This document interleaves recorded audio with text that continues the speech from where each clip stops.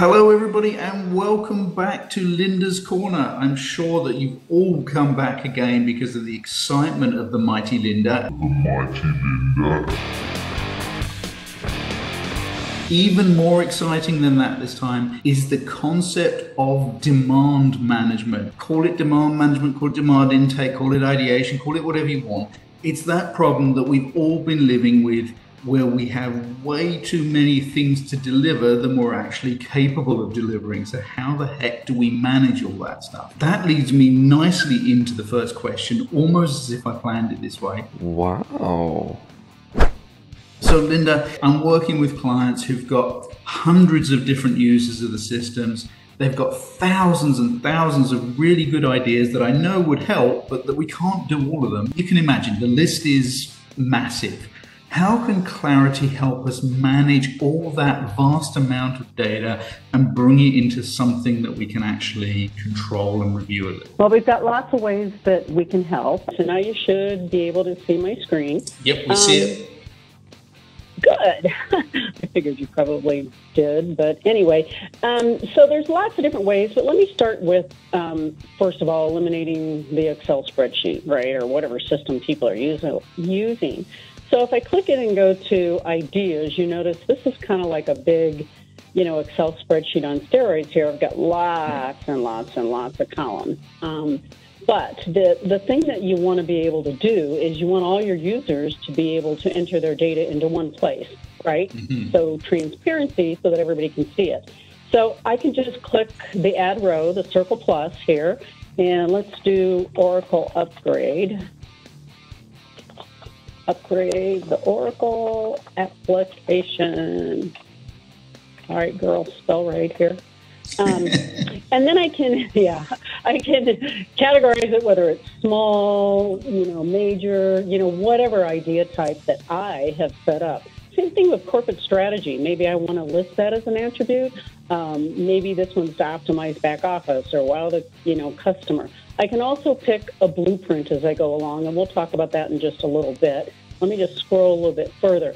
So I don't really have to enter any more data than that, um, but I can because you can see the row has already taken its place. If I click on yep. details, I can certainly add more data, right? I can do um, plan cost if I want, um, plan budget. I mean, I, I, can enter, you know, a lot more data here. Um, but you know, first of all, let's just capture my idea. So that's kind of the first thing that I sort of want to do. Now, notice that there's a there's limited fields over here. If I do configure, I've got a whole lot more fields that I can bring in. Right. So this is kind of where blueprints come in because as a Clarity admin, I probably want to select certain fields for certain you know demand generation, right? So that as the user's doing the intake they're only filling out what we say we need. You know, for committee, it's kind of that just in time thing, right? Why add a business case and why add all this data if you don't need it? So let me go into administration here for just a minute and let's look at blueprints. Um, so here's here's a, a, a blueprint that I copied and created, and it's for new product development. So in this case, I'll just edit it. What I want to do is I'm going to click on the modules and I'm going to drag over business case.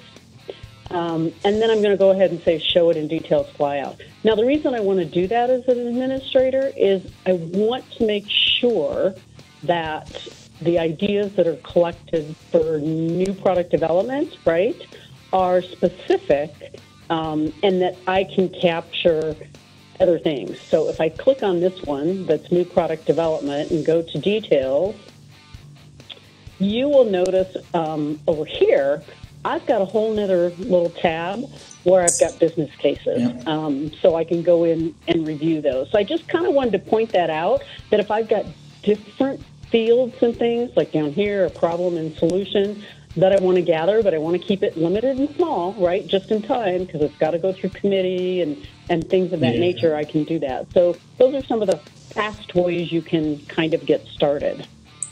Cool. And it looks so similar to Excel, so people are going to be comfortable using it. But of course, it's so much more powerful than Excel. And, and of course, all your data is integrated in that central database and, and makes life so much easier to actually manage this stuff. So I don't know what else people would want.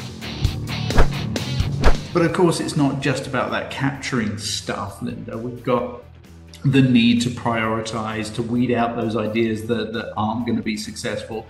And with so many ideas, we've got so much data, there's got to be a better way to track those value criteria to determine which idea fits not only to our strategic vision, but also aligns with the financial criteria as well. How can Clarity help to manage and prioritize those ideas once we've actually captured them? It's great having them in, in that sort of spreadsheet view, but how do we sort of separate the wheat from the chaff, if you like? Sure.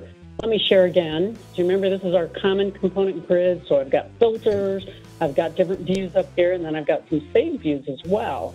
Um, in this case, let's go to demand prioritization. Now, the reason I, I kind of want to go to this one, we'll just discard changes from my last view there, is I've added lots of columns here, right?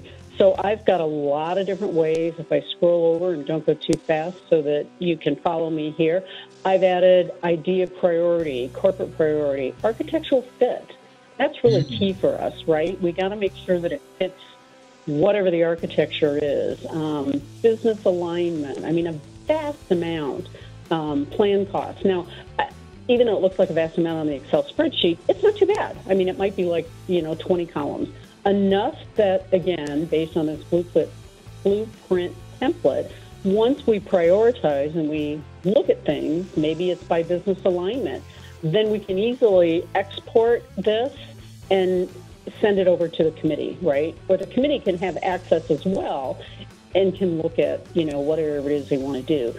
So I'm also going to do priorities, uh, filters up here.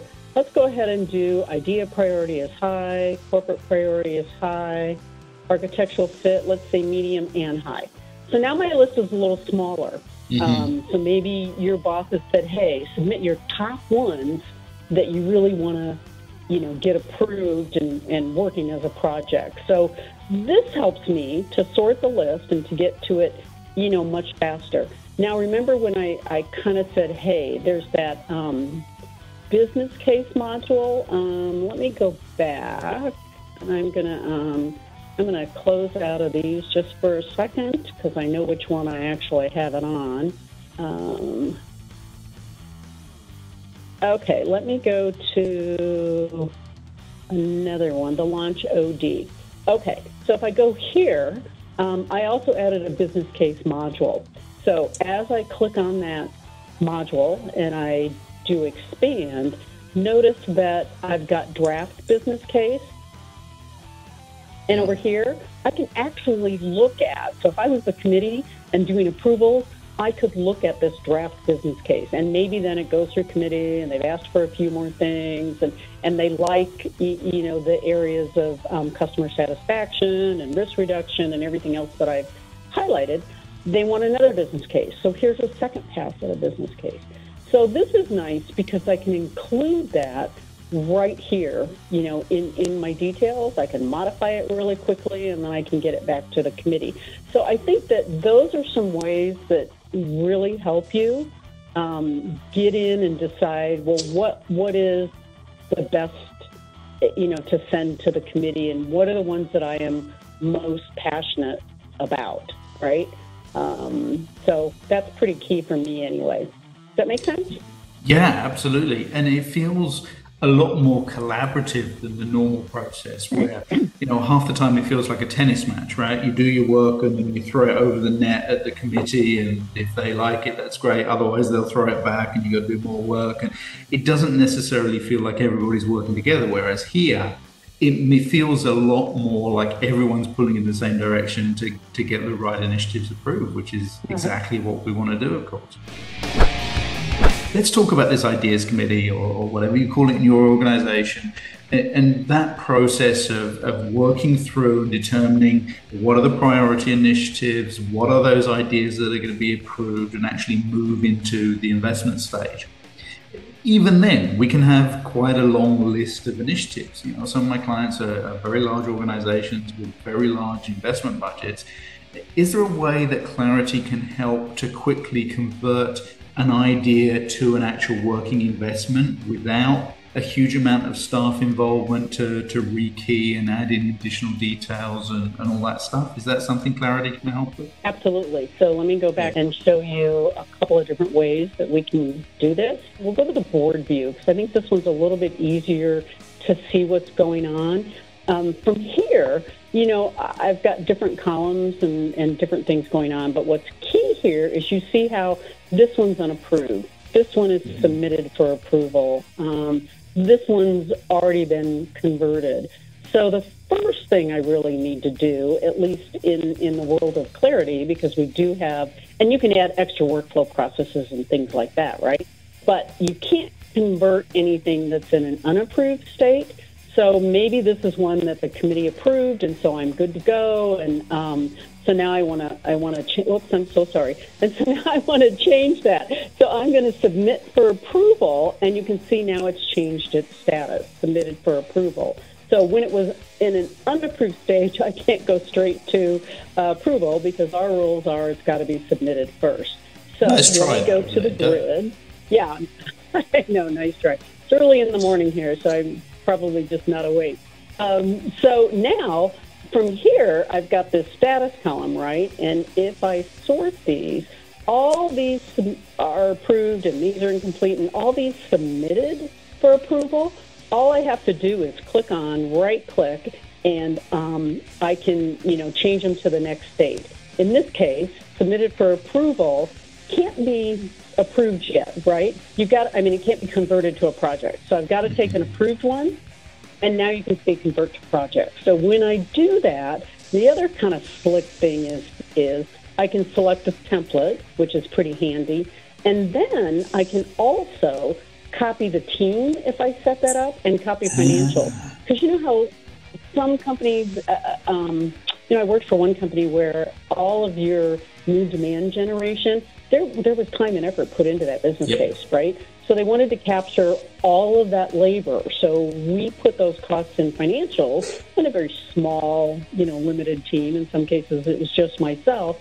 And then you can convert those as well, um, which is great, uh, just by hitting create. Now, it still keeps the demand, that idea in ideation, so that you can keep track of it. But look, it automatically, based on the template I had, went ahead and converted everything for me. Um, so, yeah, I, I think there's lots of cool ways we can do that. That's yeah, that's so much easier. Um, and even though this isn't a, a, session in Linda's corner on governance, we saw system governance there when, when you get these rebellious users like Linda who try and play fast and loose with the rules. The system won't let them. So there you have it. Demand management, demand intake, ideation, call it what you want that process of capturing ideas, reviewing them, prioritizing them, managing them, and then ultimately moving them across into projects or investments or whatever you want to call it in your organization. So simple, we did it in what, 10, 12 minutes there, um, just a few sort of short clicks, and you can easily see how clarity can contribute to the effectiveness and efficiency of that planning and demand management process, which is you know really what it's all about. More effort focus on actually delivering stuff as opposed to planning stuff, which is what we all want to do. Linda, it's been awesome visiting your corner again, and, and despite the fact that now, you know, I've seen so many corners in your place, I can't believe it. I haven't yet found a dust bunny anywhere. So, you know, really good job on cleaning those corners as well. Everybody, join us again next time. We're going to explore yet another Linda's Corner and we'll learn even more about the wonderful things that Clarity can do. Thanks, everyone, and have a great day. Perfect. Thanks, everyone.